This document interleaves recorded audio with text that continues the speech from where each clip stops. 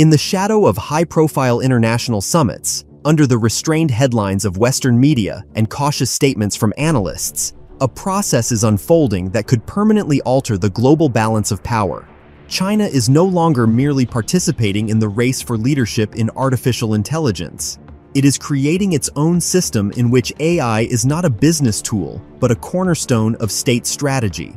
This strategy is not based on spontaneous startups or market initiatives, but on coldly calculated, centralized state development spanning all levels, from training new scientific talent to constructing massive computing complexes comparable in scale to the nuclear programs of the last century.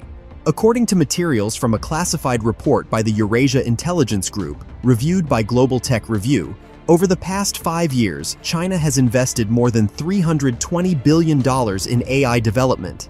These funds were allocated according to a strictly calculated scheme. 40% went to infrastructure, the creation of national data centers, development of proprietary chips, and supercomputers, 35% to scientific research and applied development in key sectors, and the remaining 25% to a human capital program of unprecedented scale globally. A key element of this strategy is state-run research institutes. By 2025, 67 major AI research centers funded fully or partially by the government are operating in China. They do not work in isolation, but as a single network managed by the Central Commission for Science and Technology. According to a source at one of Beijing's tech parks, speaking to journalists from South China Technology Journal, each center receives a clear work directive. Some focus on neural network architectures, some on quantum accelerators for AI, and others on new language models tailored to Chinese specifics. All results are consolidated into unified national databases, and decisions are promptly integrated into the real economy. Particular attention is given to the program for constructing next-generation computing nodes. The Chinese authorities launched a national project codenamed Heavenly Network, which involves building 24 ultra-powerful data centers across the country. Each functions as a strategic facility, protected and upgraded like a military base. According to analysts at Stratpol Tech, these centers operate on proprietary processors developed by SMIC and Huawei and are linked into a distributed system capable of handling state-scale tasks, from climate modeling to defense operations planning. Special emphasis is placed on software. Unlike in the United States, where AI developments are fragmented, China has created a national platform called RedMind. It is not merely a language model or a set of algorithms, it is a comprehensive ecosystem comprising dozens of modules capable of operating autonomously and interacting with each other. It is applied in the economy, industry, the military, management systems, and education. The RedMind architecture is designed to learn and adapt over time to the needs of the state, not the market. Sources in the research community note that this is the first instance globally where artificial intelligence is integrated into state administration as an element of strategic planning. Perhaps the most critical component of China's leap forward is its people. In recent years, the country has launched an extensive program to train new specialists in artificial intelligence. According to the Chinese Ministry of Education, more than 300,000 students are enrolled annually in national universities in fields related to machine learning, data analysis, and AI engineering.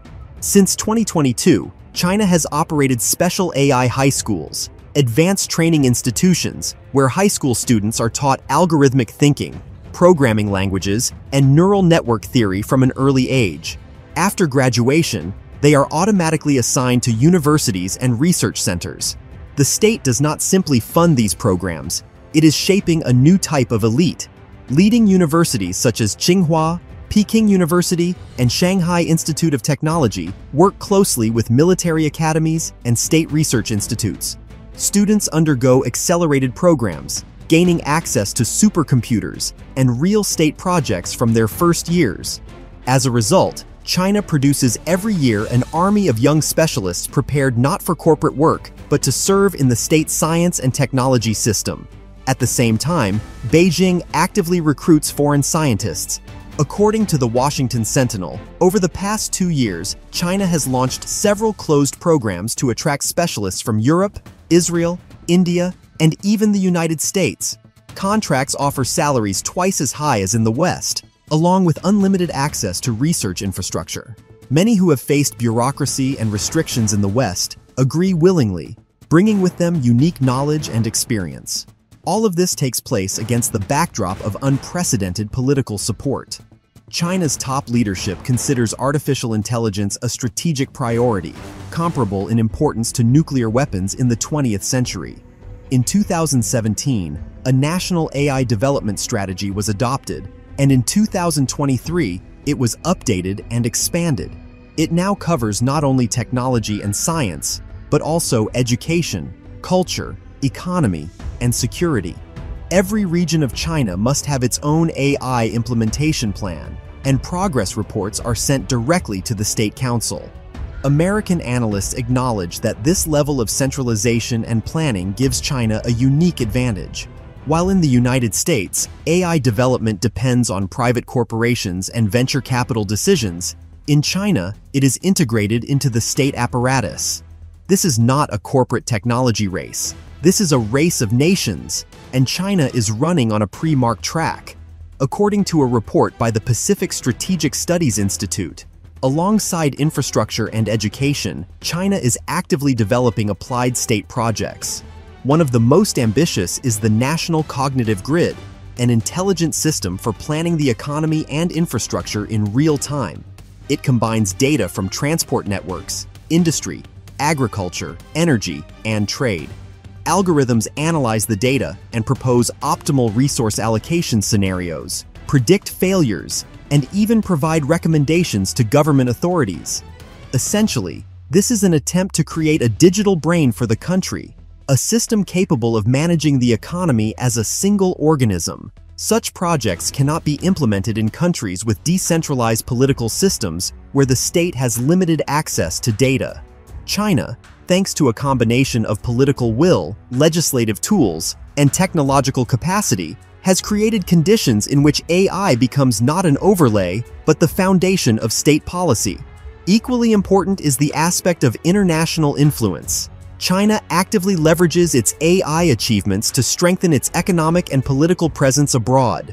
State investments are directed toward joint projects with developing countries, the provision of computing power, educational programs, and infrastructure initiatives.